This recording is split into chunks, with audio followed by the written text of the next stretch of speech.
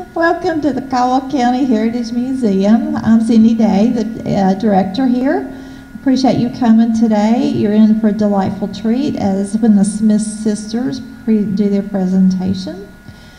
Just a few logistics. Uh, restrooms through this door to my left down the hall. Uh, at the back doors, the men's restroom, ladies' restroom is down the short hall. If we need to evacuate the building for an emergency, go out the front door where you came in. At the back wall under the middle window is also a door, and at the end of this hall is another exit door. And please turn your phones off uh, or put them on vibrate.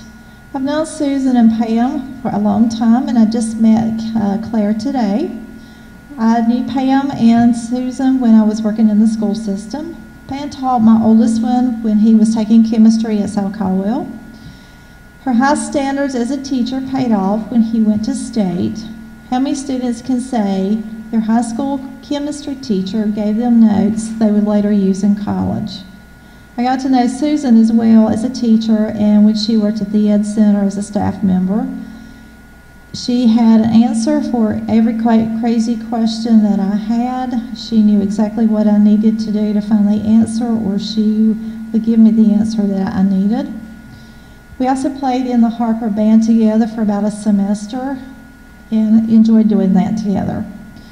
I also know Tim, Pam's husband, when my boys were playing rec ball at Granite Falls Rec Center. I just met Claire today, and she is as delightful as her sisters. So, welcome the Smith sisters. We will be going back and forth a lot today, and I'm sorry about that. But the first thing I want to do is thank you all for being here. I cannot believe that there's so many people here, and it's good to see all the wonderful faces.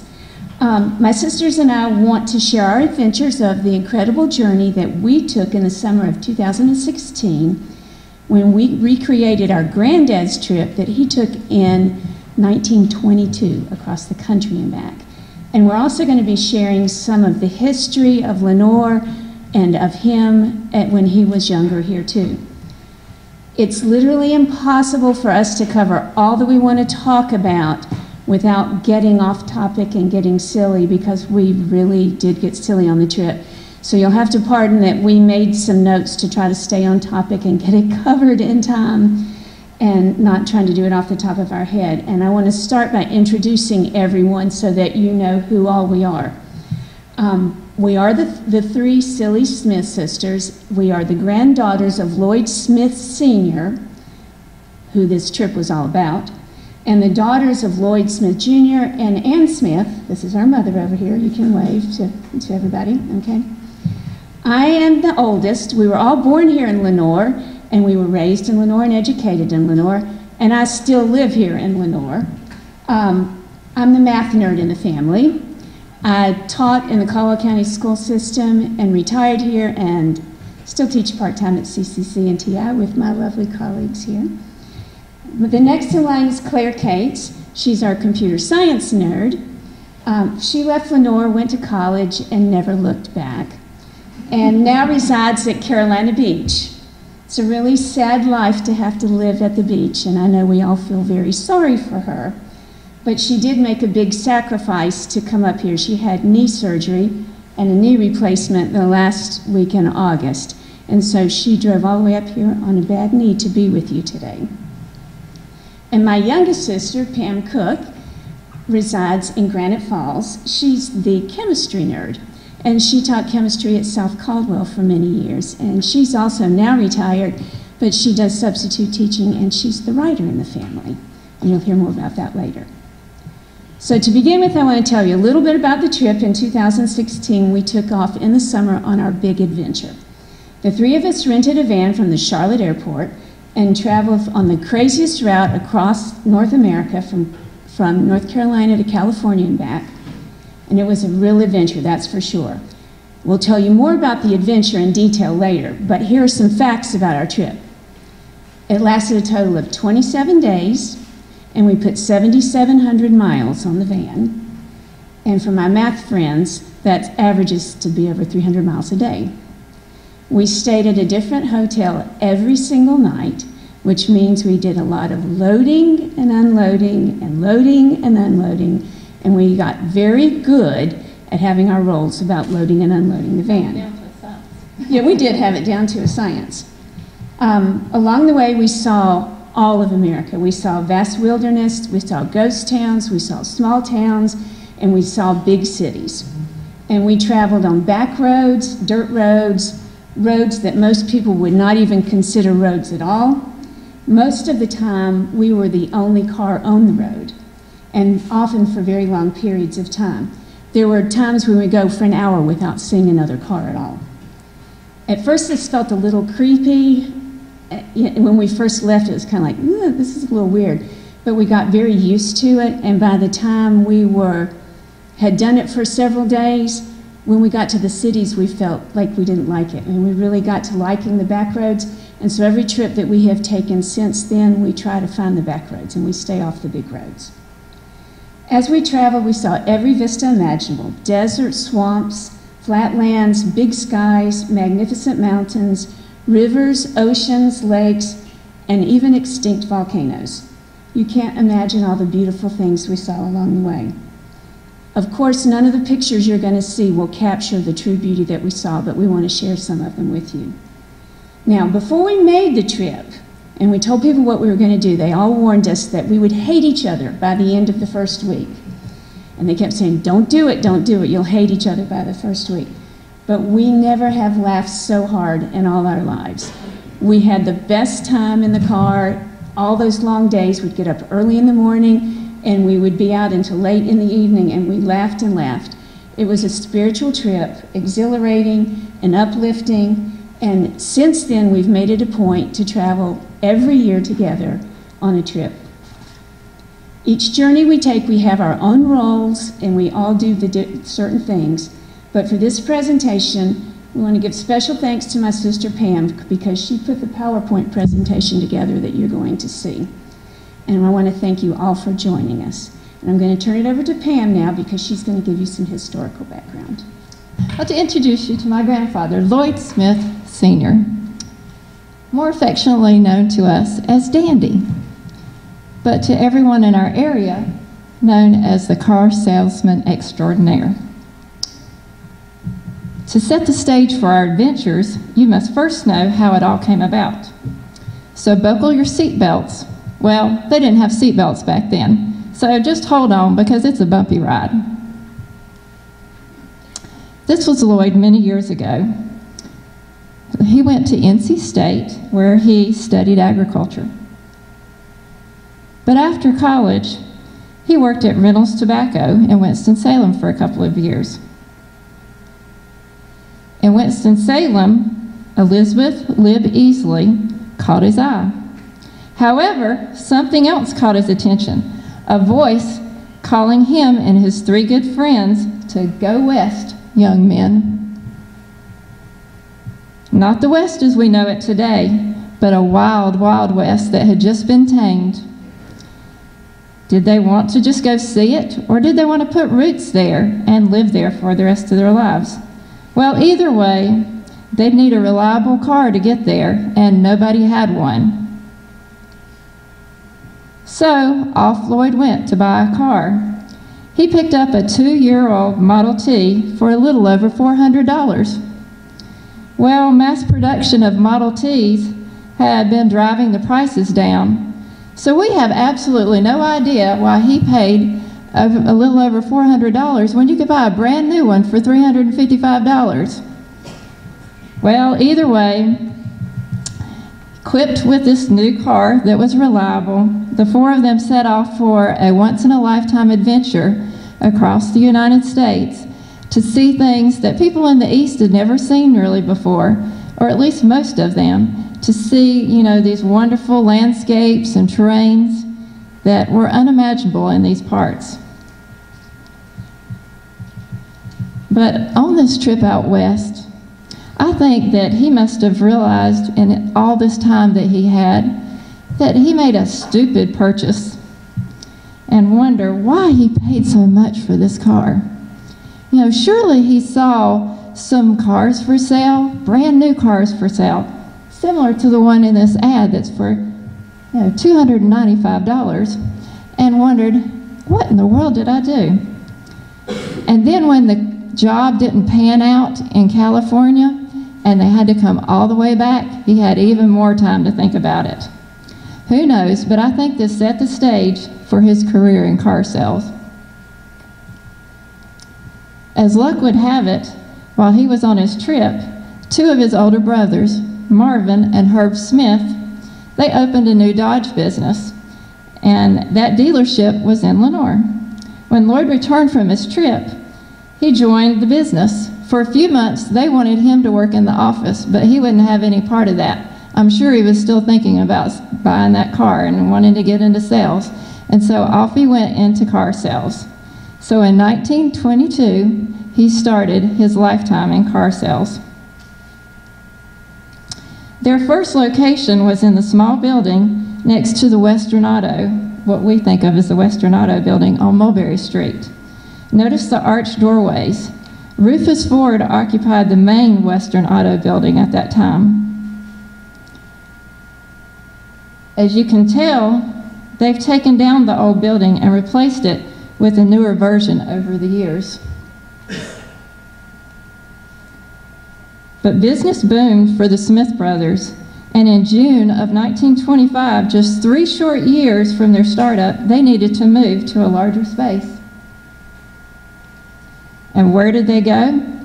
Right across Mulberry Street to a place that was constructed just for them. This new, larger location allowed them to add the Nash cars to their Dodge dealership. With this large showroom full of service garage, full service garage and basement, the gas pumps were on the road. They quickly became one of Lenoir's top businesses. Currently, the building holds a church, but the windows have all been closed in and the brick has been painted. However, you can still see numerous similarities in these two buildings.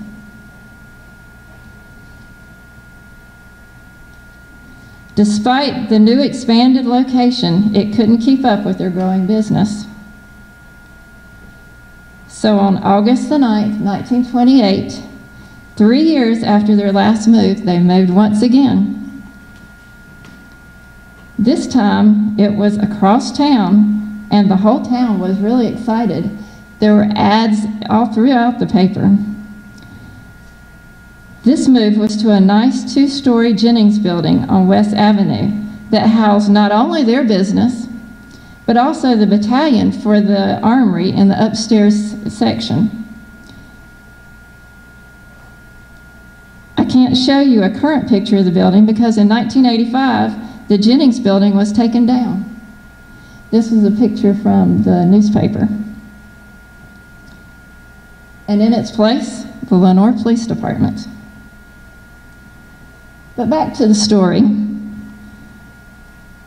In this picture, you can see Lloyd in the center and Herb to the right and his father all the way to the far right. His father's name was Waitzel.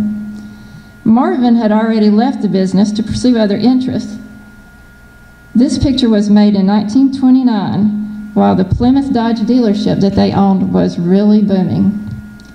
But then it happened the Great Depression hit, and people didn't have money to buy cars.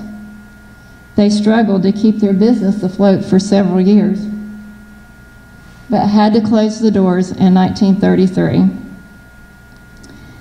Herb kept a small car business going on Willow Street, but he couldn't afford to keep Lloyd on board, and so what would he do? He had a wife to support and two young sons to feed, one on the way. He had to keep working. So he looked around town and sought out a job, and wouldn't you know it, he found one that even had the Smith name in it. It was back in the Western Auto building, the entire building this time. His building had come full circle. His business, the business that he worked in now, was owned by Irvin Smith. No kin whatsoever. and they sold Fords. Because Ford was mass produced, they could still sell for less, and people were still buying. The main building still looks really similar to what it looked like back in the day. This picture was made in the late 30s or early 40s in front of the business. And Lloyd stayed with the business for uh, about 20 years or a little over 20 years. And all those years, you know, selling those Fords, that he had to be thinking about that stupid purchase he made, just rehashing it over and over and over again back in 1922. In 1957, his brother Herb sold his automobile business to Rooster Bush and thus began Bush Oldsmobile. In 1958, Lloyd left Smith Motors and joined Rooster Bush to sell Oldsmobiles. Their new location was at Smith Crossroads next to the Hannah's Bar- where Hannah's Barbecue is now. Many of you may recognize that building still. It's in disrepair, but it's still there. About the same time, Smith Motors moved to Smith Crossroads, and the Crossroads got its name. Got its name. For the next six years, business boomed for Bush Oldsmobile, so Rooster started construction on a new location. In 1966, they moved Bush Oldsmobile to its current 32 acre location on Hickory Boulevard. Later that same year, Lloyd was inducted into the gold chapter of the Master Salesman's Guild, the highest honor for Pontiac Motors. Lloyd continued to work at Bush Olds for many years, but after selling cars for over 50 years, Bush Olds decided to throw him a dual birthday retirement party. And while there, they celebrated that Lloyd had just sold 300 new cars last year at the age of 80. That's a lot of cars. That's almost a car a day. Here's a picture of our grandfather with his three sons. Holt to the left, my grandfather, my father, Lloyd Jr., and then Harris to the right. But notice up there it says, this is all at that party, supposed retirement party. My grandfather had no intention of retiring. And that's at 80. Here he is five years later, and he's still just discussing his retirement. Yes, Lloyd continued to sell cars through 1987, all the way up to a few months before his death in February of 1988. A remarkable 65 years of car sales. I bet some of you bought a car from my grandfather. Despite all the thousands of cars he sold over the years, he was always a friendly, humble, unassuming man who lived an ordinary lifestyle in a simple home. And he never owned more than one car at a time and often kept them for 10 to 15 years. It wasn't until many years after our father passed away, our own father passed away, in 2004 that the family all came together and we began to discover the treasures that were held in our grandfather's life and story. And I'll hand this over to my sister.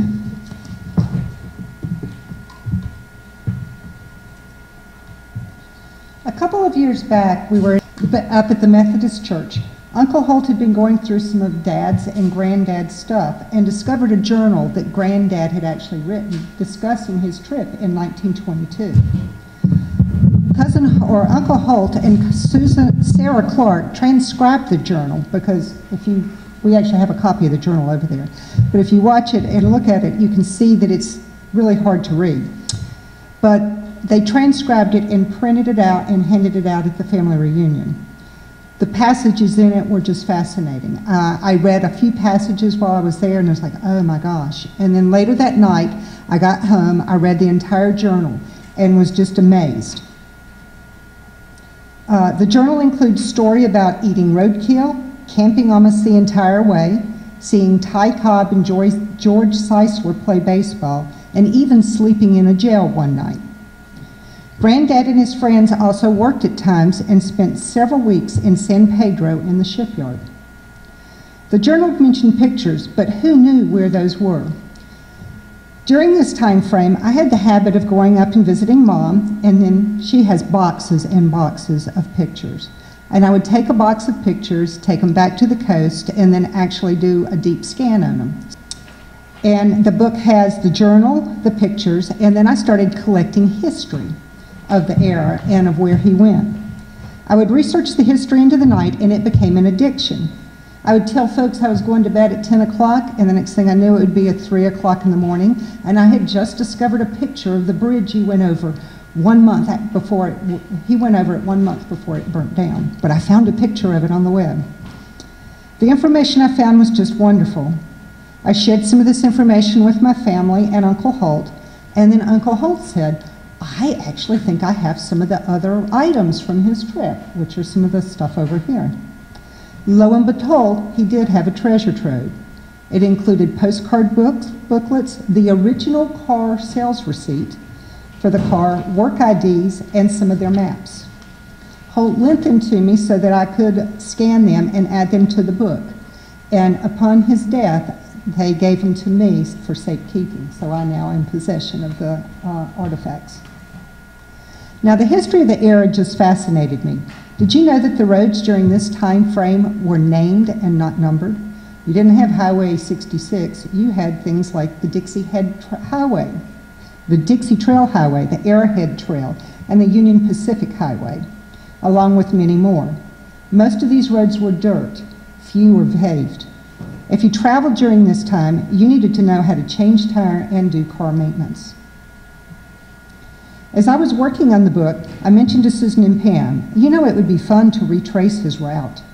They smiled, and the crazy people we are, we decided to, to do it, and the trip was born. I had to research our route because I wanted to be as close as possible to Granddad's route.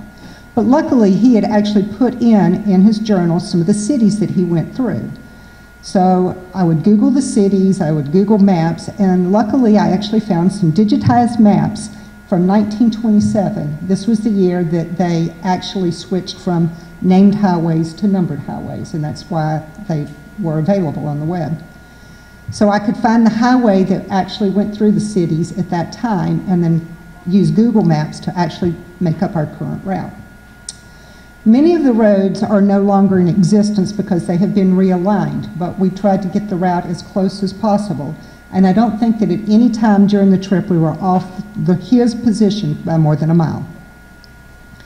No, we would not be going directly across the country. As you can see in this picture, are in the blue route, we are going up and over and down. I mean, we went all the way up into Wyoming to go to California. Our route would be on country roads and through small towns. We were really going to get to see America. Not only did we have sh our Shutterfly book, but also made a website, website 1922 coasttocoast.com, where all the information of the pictures and the journal and the history that I collected reside. So y'all can look it up, it's still there. I decided that the trip would not only be following Granddad's routes, but I had been collecting hotel points for many, many, many years. So I decided I would use my hotel points, who better to share my wealth of points and free nights with, but my two sisters. We went on this trip and stayed in a free hotel every night. No, we were not going to camp like Granddad did. But you can tell us we did have an adventure. Next, I'm turning it over to Susan and Pam, and they're going to share with you a few of the journal entries. As you know, my grandfather's journal was what started us on this trip, so we have chosen some of the journal entries that he has that we're going to read the journal, his actual journal entry, and then tell you what we did on the trip to go along with it. We chose some that we had that he had taken pictures of so that you could see our pictures along with it. So first of all, Wednesday, September 6th, he wrote, Got up early and proceeded over the Dixie Highway, which was so rough you could hardly travel it. Went through Rockwood, a coal mining town, then went over the mountains. Stopped on top at a spring and filled Lib up, mostly coal mining country. Hardly see a house every two or three hours. Camped a few miles west of Sparta. Had our first chicken supper that we didn't pay for. Mitch got it on his good running and accurate grabbing. See that chicken that Mitch has? Thank goodness we didn't have to catch our own chicken. but just like them, we got up early and traveled the Dixie Highway. We went over the mountains and even stopped at a full service gas station, just like they did. In Mars Hill, we ate our lunch in a gazebo next to the road. And for supper that night, we really roughed it when we had pan seared fish in Knoxville, Tennessee. Uh, we didn't even have to catch the fish. Not finding anything in Sparta, we traveled on to Murfreesboro to set up our camp in a hotel for the night. Monday, September 11th, he wrote. Got to East St. Louis, Illinois about 10 a.m. All of us got a haircut. Cross River to St. Louis, a city of about 800,000 population. Saw Detroit and St. Louis play here. St. Louis won 5-4. Ty Cobb and George Sisler both played. Sisler hurt his shoulder, but stayed in the game. Leave St. Louis about 5.30 p.m. Camped out in St. Charles, Missouri in a field by a straw stack. He said they left St. Louis around 5:30, but we didn't even get there to St. Louis until about 5:30 because we were having too much fun in Casey, Illinois. We'll tell you more about Casey a little bit later. We got there about an hour too late to catch any of the ball game, but we were able to get a picture with Sisler's statue next to the stadium. That was one of Dandy's favorite players, and he would be really proud of us. Leaving out of the city, we crossed the Mississippi River on the Eads Bridge, the same bridge they used to drive to, that we used to drive to St. Charles to select a nice hotel for our campsite, not a straw stack. Being the 4th of July, we were treated to a beautiful fireworks show over the river that night. Friday, September 22nd. Left for Lookout Mountain about 8 a.m., where William F. Cody, known as Buffalo Bill, is buried. Arriving there about 10 a.m., the grave is made of concrete with iron fence around it and U.S. flag flying over it. Nearby is museum showing all of Cody's old guns, saddles, bridles, uniforms, and other personal belongings. Also, Indian guns and other things which he captured. Scalp of Chief of Red Hand, who Cody killed in hand-to-hand fight. Grave is on very top of mountain. Overlooks prairies for 50 miles around. Home of Hermit, who rode with Cody, is visible on opposite mountain. Get back to Longmont about 3 p.m. and take up our journey. Camp in Schoolhouse Yard near Fort Collins. In Buffalo Bill's Cody's Museum on top of Lookout Mountain, we saw many of the thing, same things that Dandy saw. At Cody's gravesite on the very top of the mountain, we tried our best to stand in the same position as Dandy and his friends, but it sure wasn't easy. Other than a concrete slab around the grave, it was a steep drop off. Remember that Cody had just died several years before they actually had their picture made. That's hard for us to understand. Dandy was right. You could see for at least 50 miles from the top of Lookout Mountain. After traveling down the winding hairpin road off the mountain, we went through Estes Park, through gorgeous canyons, and stayed the night in Fort Collins, same as they did. Wednesday, September 27th. Mitch and myself relined brakes, etc. Went out to the Great Salt Lake about 11 o'clock. Could see salt and so soil for miles before we got to lake, 150 miles long from 10 to 50 wide. Resembles sea as big waves rush around. Go back to city, buy some groceries. Bid G goodbye and head south over Arrowhead Trail. Very beautiful. Down the valley we go. Wheat, vegetables, and fruit main crops. High mountains on both sides of us. Many large lakes. Meet girl horseback riding. Bill and Mitch make dates. Camp at Mr. Hudson's. Irrigation ditch goes very near our camp. Make bed under wagon bed. Not sure why Dandy didn't make a date, but anyway, just like Dandy, we stopped to see the Great Salt Lake around 11 o'clock, and we left Salt Lake City on the Arrowhead Trail. Notice how similar his postcard is to our picture. but also notice how much smaller the Great Salt Lake is now. We'll fill you in on our Salt Lake adventure later in the program. Tuesday, October 10th. Got up early, decided to go back to San Pedro. Got job with LA Shipbuilding and Dry Docks Company. McDonald and I got to work at 12:40 p.m. washing pipes with gasoline. No one had stayed on it more than 2 hours. We stuck it out all of the afternoon, but our hands burned like fire. Ben and Mitch rented a one-room house during the evening near the yard and had a place to call home when we got off of work at 4:40 p.m. Had supper, wrote some, and retired. In San Pedro, we visited the shipyards where they worked. Today, the shipyards are much larger, but we were able to get some good pictures that closely matched the pictures they made and postcards that they had. And finally, Tuesday, October 31st. Had a fine night's rest, had breakfast and left about 8:30 a.m. Had the most wonderful scenery yet.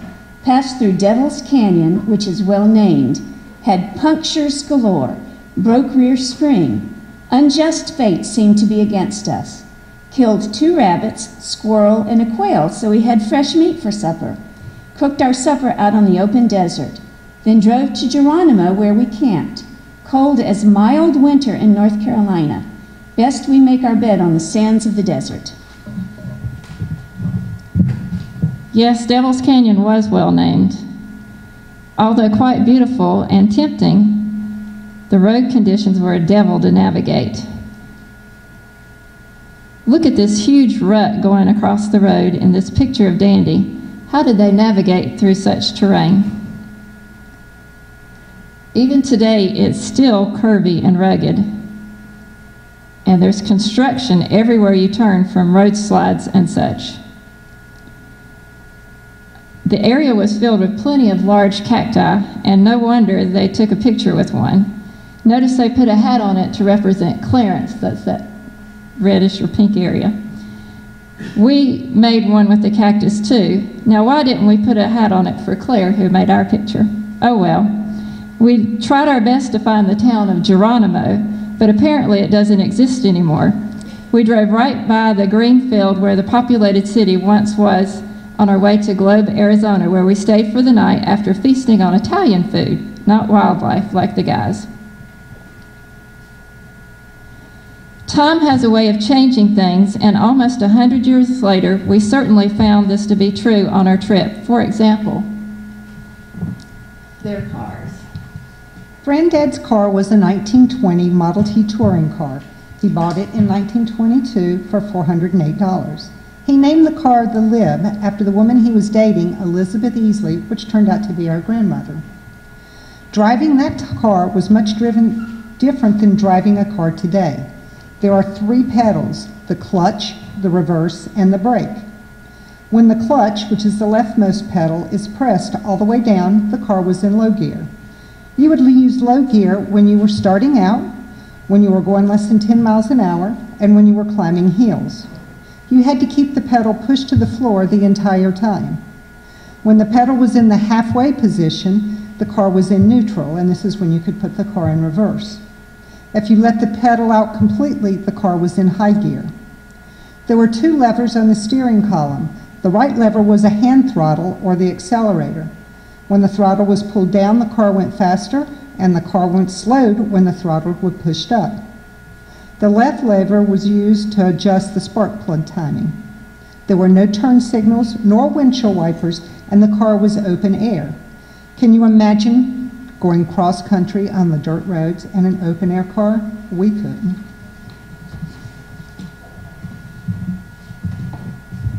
Now, our car was different. We named our car the Lib 2. We drove in a Chrysler Town and Country that had less than 10,000 miles on it. It did have windshield wipers, turn signals, automatic windows, and air conditioning. We also had an automatic transmission, cruise control, and satellite radio. Additionally, we had stow and go seats so that we could carry all of our needed supplies, including a small refrigerator.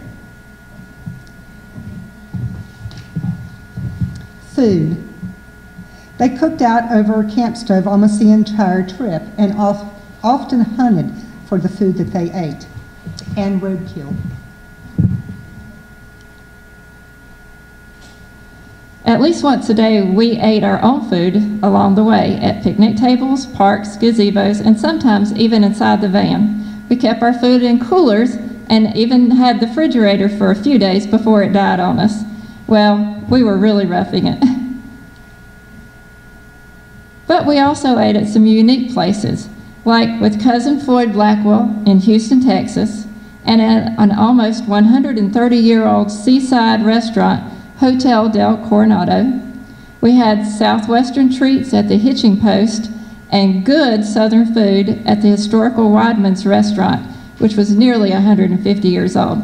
Yes, we stayed away from the chain restaurants. We even partook in some fine dining where the food and the scenery was spectacular. Just look at that view from the Cliffside Restaurant in St. George, Utah. And lodging. They slept most nights under a tent that was part of their car, but they also slept in haystacks and a corn crib. They did this no matter what the weather was rain, snow, heat, and cold. In San Pedro, they rented a house for three weeks and did stay with relatives when they were in the Denver and Ventura, California area. Thanks to Claire's stash of points, we got to stay in a hotel every night. Some of them were nice, and some of them were very nice. Almost all of them had free breakfast, too. And when we were done, she still had some points left over. We stayed at so many different hotels with different hotel rooms, we started to get confused. On numerous occasions after breakfast, we would forget our room number and struggle to figure it out. One morning, after Claire and I went to go get ice, our room key just wasn't working. So we convinced the maid to let us into our room, only to find out it wasn't even our room. We were one floor off. Even the maid had a good laugh on that one. Thankfully, no one was in the room. Multiple times a day, we experienced zany ex- adventures that kept us in stitches. Here's a sampling of just a few of them. As we traveled across the country, we saw lots of different kinds of farms corn farms, wheat farms, and farms of all different kinds of crops. We also saw farms with pigs and cows and horses and chickens and all sorts of animals. But when we arrived in Louisiana, we encountered a whole new type of farm a mosquito farm. And feast your eyes on the lovely picture that we have here water covered with green slime, and who knows what sorts of creatures living underneath it on both sides of the road. We saw this kind of farm also in Alabama, Georgia, and South Carolina as well. None of us could imagine what our grandfather had gone through trying to camp in this area. We tried very hard to keep our car on the road because we thought if it went off the road, we would be lost forever.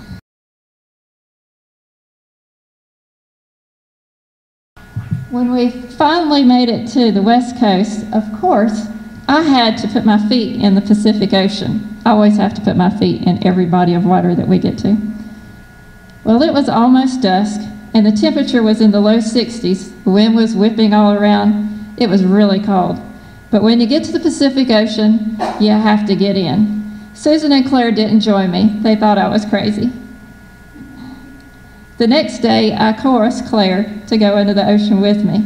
Even in the bright sunlight, it was still cold. No, we didn't put our swimsuits on. We stayed in our clothes, thank you. In the middle of July, we are not California girls. Yes, this is the attire we wore to the beach in July. We're true Southern belles. We longed for our warm waters of the Atlantic beaches while we were at the beach.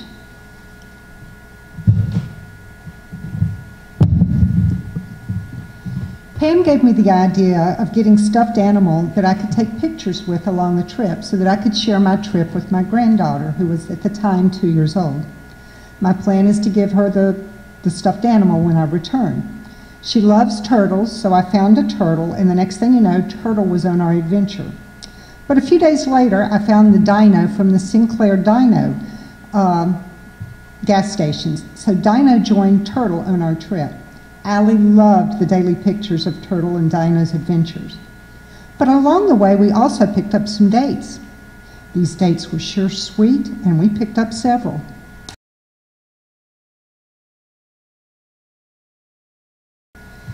Okay, no, we're not talking about doing exercising, not doing those planks. What we're talking about is the plank road that used to exist between the Arizona and California border, the southern one. And it went through the sand dunes. And it was a plank road back in the 1920s. The plank road was made of wood and was a one way road with turnouts every quarter mile. The road was only about 15 miles long. Travel on the road could be dangerous. The shifting sands caused many problems, but also the dry desert heat, traffic jams, fights, weather could cause delays. It was advised that travelers should take extra blankets, food, water, car supplies, just in case of an emergency. It was not uncommon for a trip to take two days to go 15 miles. As the road became more heavily traveled, fights broke out when drivers going in the opposite direction refused to backtrack to the nearest turnoff, turnabout. As we were driving down the highway, Pam spots a place where you could actually see part of this original road. At this point in time, we were on the interstate, the only road through the area. Susan took the next exit so that we could go back and get pictures, and we had to backtrack five miles. I, of course, was in charge of pictures. This time I missed the section completely, didn't even see it. Pam actually spotted it and said, This is where you need to start taking your pictures. So what did we do? Let's turn around and try again. I set the camera to continuous pictures so that I would get a lot. This time I hit the button, but too early. I got seven pictures, but not of the road, except the last one. You could see the road only when you really zoomed in. So rinse and repeat, we tried one more time, backing up five more miles to try to get it. Again, I set it to continuous mode and got a better shot, but it was still a little blurry. We gave up after that and headed on down the road. Speaking of plank roads, not only did we experience plank roads, but we experienced all sorts of road conditions. I'll admit, I didn't have too much experience driving dirt roads before this, but boy, oh boy, did I get some practice on this trip. Although one day, Claire did drive about eight miles on some dirt roads, I seemed to drive all the rest of the hundreds of miles of dirt roads on the trip. One day, I drove over 80 miles on a dirt, old dirt highway. Did you know there were still dirt highways in the United States? We didn't either. Some dirt roads were nice and compact, and I could drive 60 miles an hour on them. Others were bumpy with loose rocks and so dusty that we had to go creepy slow. Along the way, we discovered why all the cowboys in the westerns wore bandanas. On many of the roads, we had to use Kleenexes over our faces, even with the windows up and the air is recirculating. We can't even imagine how bad it must have been in Dandy's open Model T. Surely they were covered with dirt. Going west, most of our dirt roads were right next to the train. The older roads, or many of them, are right next to the train track, and this was because the train, the railroads had easements near the train, and therefore it was easier to put the roads there. It was also that they went through a lot of small towns, and so driving back then was hazardous, and this was made it safer for when somebody was doing it. So it's you drive along old highways now, notice that there is oftentimes a railroad close by. And there was stuff in the road. We came across big farm equipment in the road. Big farm equipment in the road. And when we passed by, there were little kids driving the big farm equipment, some not older than my grandson Donnie, who's just now in fifth grade. And there were animals in the road. There were cows in the road, and goats in the road, and sheep in the road. And there was grass in the road. Where are the cows when you need them? And there's sand in the road. Sometimes there was so much sand in the road that you couldn't find the road. And there were rocks in the road. Sometimes the rocks were so big, you can't go over them, you can't go around them, so you just go through them.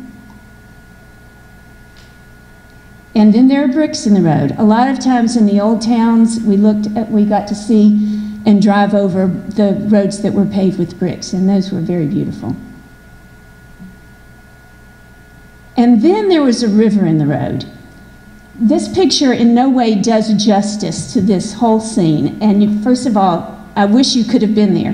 It was pouring rain, and we were driving, and this road is really at a 45 degree angle. The picture we made was from the car of another car, so it doesn't look like the angle is what it is. My sister was driving and had to weave down the hill because it was so steep, it gave me the heebie jeebies. Now, so we drive down, and suddenly the Ohio River is at the bottom of this. There's no fence, no anything, there's just the river. And so when we got there, and it's kind of dusk, it's hard to tell that too. We turned and drove back up, and then we saw a sign at the top that says Road Ends in River. It's like, no joke. driving down. It was quite scary. And there are curves in the road. We drove over lots and lots of curvy roads. I did most of the driving on the curvy roads.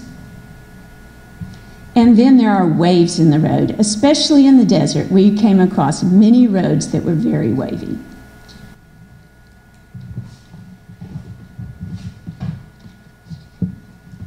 When we were in the Denver area, we went to Lookout Mountain, which Pam had talked about earlier. Now, we were in the Denver area a couple days, and every day that we were there, Susan wore her Panther t shirt because the Panthers in Denver played in the uh, Super Bowl a couple years back. Well, in this picture, Susan was out of control, so Pam had to corral her in. Then, you know, they both got out of control, so what I had to do was go get my gun and put them, you know, make them calm down. But we did go through the entire Cody Museum and saw many of the items that Granddad saw. At the end, we even got in the car and we decided our chips enjoyed the ride, that they really liked the altitude.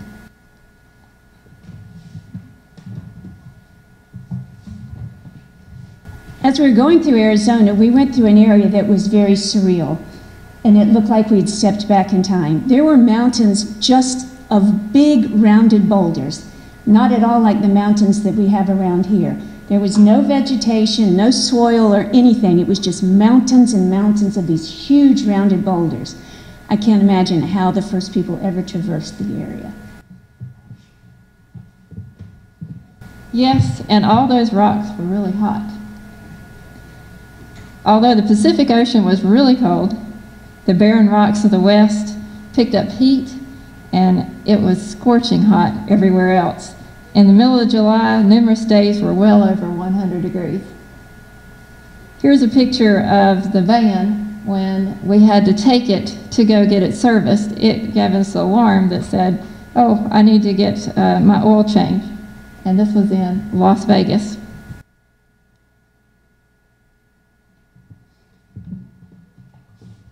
Now, Claire told you about having the um, turtle and the dinosaur for her grandchildren. Well, for my grandsons, Donnie and Alex, I collected rocks for them. And not only for them, but for our Bible school. They were doing a rock program that summer. So I collected rocks from all over the country. So anytime we saw a place with new rocks, we stopped, I got out and got rocks. Well, especially in the desert, there were some really interesting rocks. And so the rocks were quite hot, and everybody laughed at me when I jumped out and got hot rocks. And even when we got to the volcanoes, I jumped out and got very hot black volcanic rocks. So you should have seen me jump out and throw them in the car. Well, everybody got tickled about that too, but I got them interested in rocks as well. So we had rocks from all over the United States. And we got so interested in rocks that we even stopped at a couple of rock shops and one especially in Deming, New Mexico. By the time we got back to um, North Carolina, our car was full of rocks. A good portion of our trip from California to Texas was right along the Mexican border. You really had to watch it and make sure you didn't take a wrong turn because there was no reentry, and you better had your passport. Each time, well, multiple times, we had to go through border control. And no, border control wasn't right at the, we didn't go across the border. They would have it a few miles in.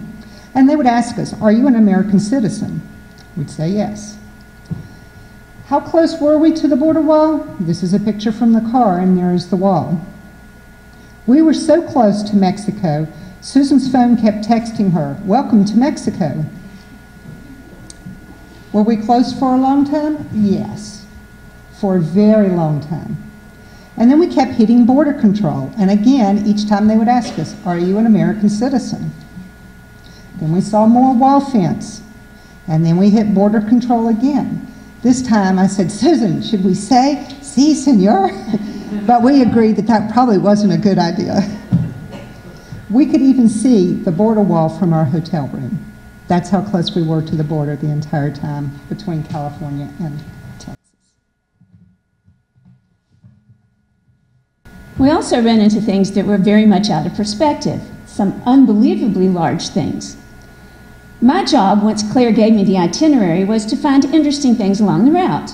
I used Roadside America and TripAdvisor and many other resources to scout out strange and interesting things that we could do and take off and come back and stay on our route. I found a plethora of cool places, but I hit the jackpot with Casey, Illinois. It is a little town with a lot of big stuff, and I mean really, really big stuff. They have the world's largest wind chime, rocking chair, golf tee, pitchfork, wooden shoe, mailbox, crochet hook, and knitting needles. They also have a giant corn, pencil, yardstick, ear of giant, coin, I'm sorry, ear of corn, bird cage, and several other things. Each year they build something new. What happened was when they built the interstate, they bypassed the town and the town died. And so the town decided that they would build something new each year to draw the people back into the town. Naturally, we had to get pictures with everything. We even got inside the giant mailbox and the giant bird cage.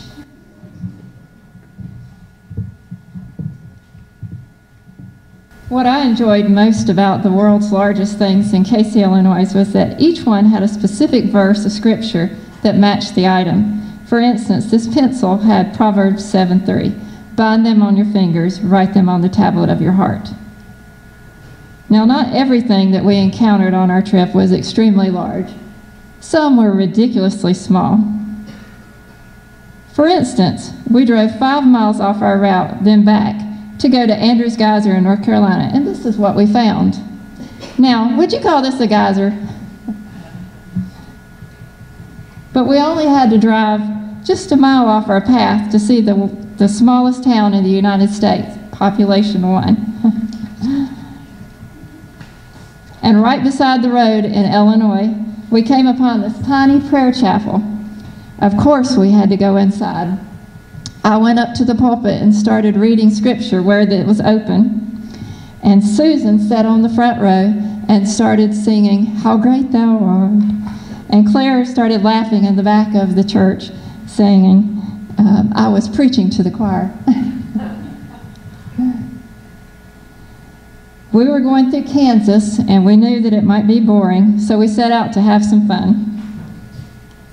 We stopped in Oakley and decided to live out the wild, wild west for a little while. In Wamego, we followed the Yellow Brick Road and we visited the Wizard of Oz Museum. Near St. George, we saw a Model T going down the road and we chased it down. it scared the driver half to death. oh well, they didn't know us in Kansas. So we got some good pictures anyway. I had some fun trying to bust open a watermelon for us to eat, but it bounced just like a basketball. and Claire went rummaging through some cans looking for spare parts for our worn out bodies. Apparently, she found a new knee there.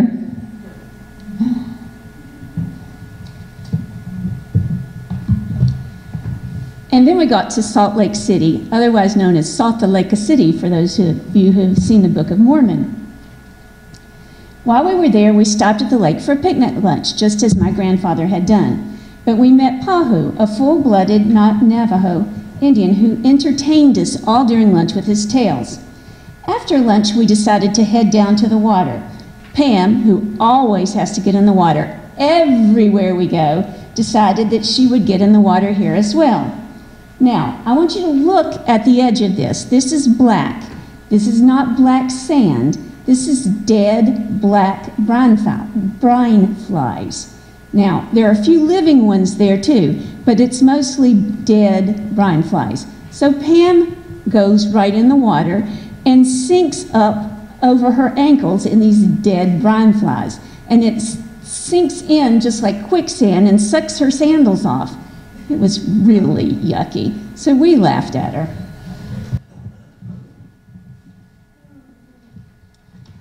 We stopped at a small mission outside of Texas in the middle of nowhere and were posing for a picture when Susan and I saw a car pass. The car turned around and headed back towards us, parked, and two men got out of the car.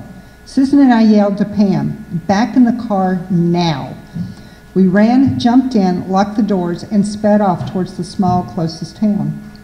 The other car also left and followed us for a little bit. It was scary, but who knew three middle aged women could run so fast? Don't leave them unattended. That's talking these two. The windows of the van were constantly getting dirty, and so we used up all the windshield wiper fluid and needed a refill.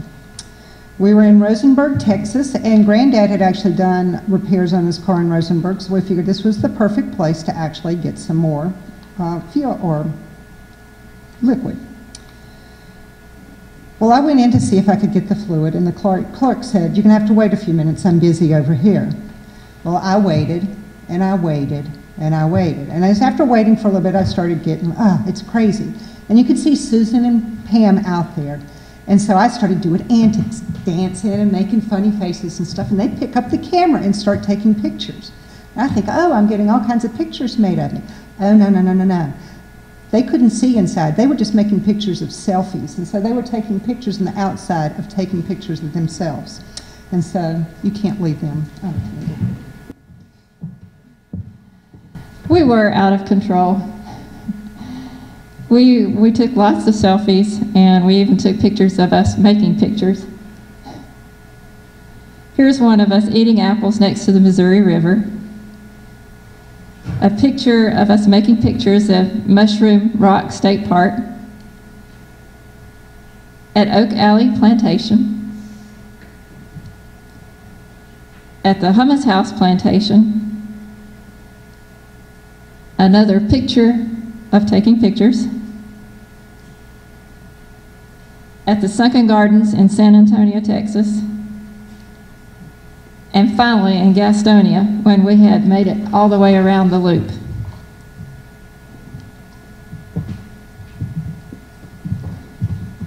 I should be saying, here come the Beverly Hillbillies. Oh, in San Antonio, there's a fancy smancy five-star hotel called the St. Anthony, and it was built in 1909. It would have been there when my granddad actually went through the area. Well, the year before, I had actually been there as treasurer of a conference, and so, i.e., the checkbook, and so the conf- or the hotel was very interested in my thoughts and feels. The thing was, was we were the first conference in the first set of rooms to be done after their renovation, so they really wanted to have our feedback. So they asked me everything that had gone wrong, which I had this massive list of things that had gone wrong. They said, well, they would offer me some extra Starwoods points, and I said, well, I'm going to be coming through here next year on this trip with my granddad. Would anything about being a free room? And they said, sure, but you got to use it within a year. So they gave me a free room. Little did they know that the Beverly Hillbillies were going to show up next year. Remember now, this is a five-star resort, so these are the type of vehicles that would actually typically be, you'd see the parking at the valet. But again, they didn't expect what arrived the next year. Right before we arrived in San Antonio, our van looked like this. After 5,000 dirty, dusty miles without a bath, what did you expect? Claire stayed at this ritzy place, but she didn't forewarn us. So Susan and I were caught totally off guard as I drove up in front of the hotel and several valets started walking our way. Now Claire made a quick escape to go check us in, leaving the two of us to fend for ourselves in the van. Oh, how embarrassing. Susan and I noticed the valets were standing over there talking amongst themselves, surely thinking and arguing over who's going to take us. Finally, um, and we were both just laughing. I just put my head down on, the steering wheel because I was crying so hard. Finally, two valets, apparently that drew the short straws, came over and up to the window. With tears streaming down my face, trying to pull together anything I could get in a voice, I did my best to tell them our story and try to explain the dirt on the van. After talking with the valets, they loved every minute of it and wanted to know more of our story. Well, it's a really good thing because we had piqued their interest, and in true hillbilly style, we had the valets completely unload the back of our van and wheel it all in, piled up on two luggage racks through their fancy smancy hotel lobby. all the stares we received, the hillbillies had arrived. Once we were in our fancy four room suite, we carried on like a bunch of country bumpkins in the opulence that surrounded us. I quickly put on one of the guest robes while Susan and Claire checked out all the rooms in our suite. By the next day, all the valets in the hotel had heard our stories and, and kept stopping to talk with us. We laughed and learned many of their own personal stories. It was fun, and they said that we were the nicest people that they had ever had there that their regular patrons don't normally even acknowledge them. So in the long run, the Beverly Hillbillies made their day.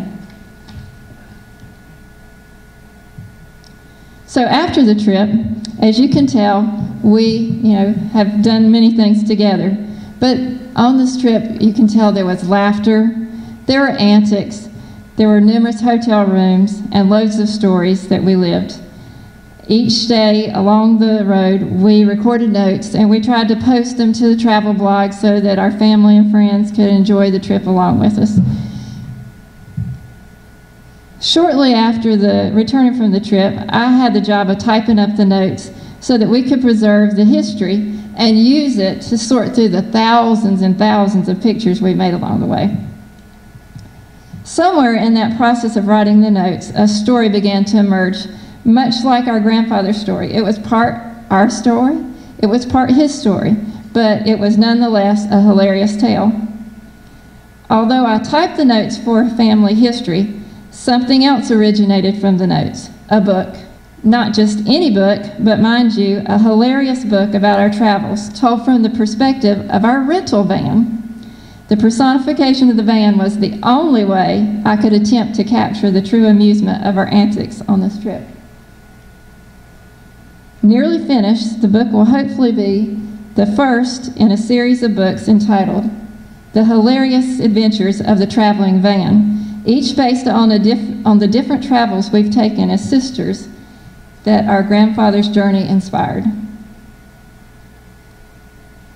The first book in this series is subtitled Live To Goes West. I hope you'll grab a copy to take the full journey of our hilarious historical adventures when the book is published.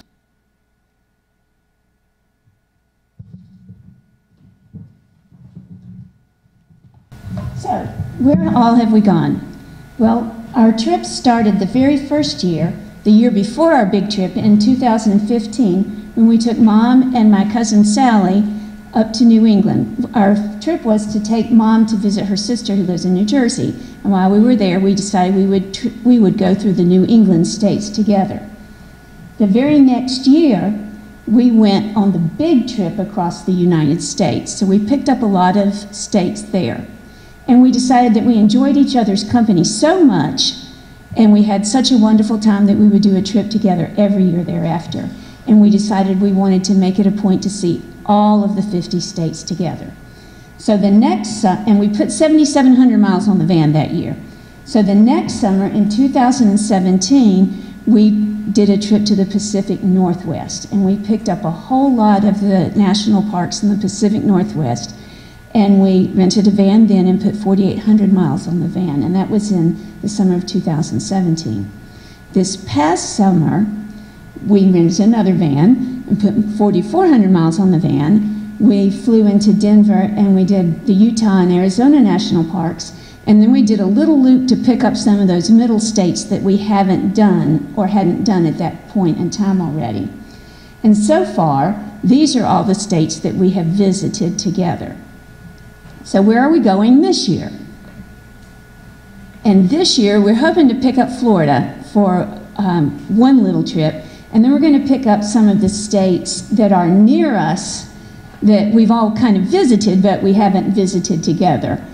And then we'll have three trips after that one for that, what I call the Norse region, with the Dakotas and Minnesota.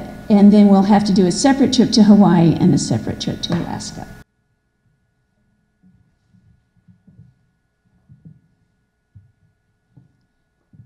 Were we meant to find Dandy's journal and take this adventure?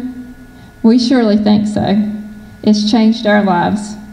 This trip was truly a blessing, and it's just what we needed. Each of us had come out of several difficult years. Not only did this journey back in time rekindle our sisterly love, but the constant laughter we shared all day long for nearly a month was pure medicine for our souls. You know how the saying goes laughter is the best medicine. Well, we took some heaping doses of deep down belly jerking, tear streaming, can't catch your breath medicine on this trip. None of us can remember laughing so hard, and it happened every day, almost all day long. When we got back from this trip, we realized we never even did turn the radio on in the vehicle. We were having so much fun. We can only hope that our grandchildren or our great grandchildren will someday stumble across the things and discover the same treasure chest of history for themselves. Perhaps adventures await for your family as well. Just think what might be tucked away somewhere waiting for you to discover.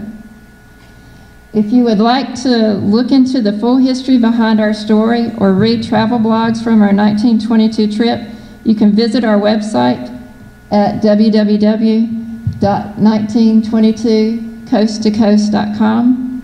Perhaps you'd like to join the sisters on our next journey by signing up for our travel blog. Just email Claire at the email address on the screen.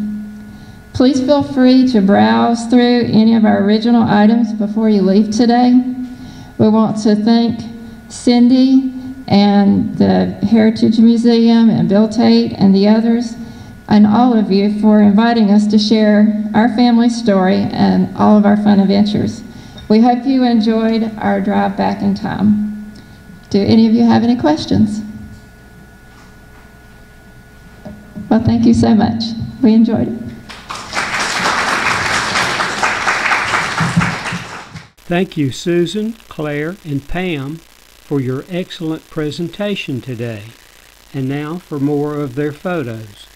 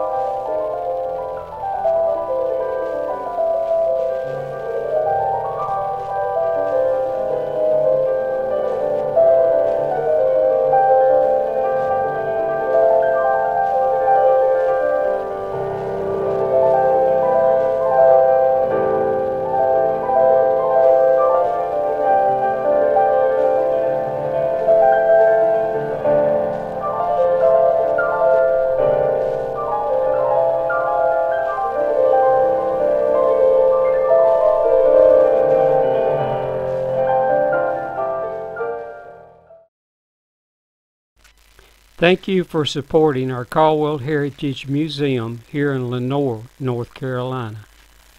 Thanks to local well-known musician Gregory Knight for the use of his music in this video.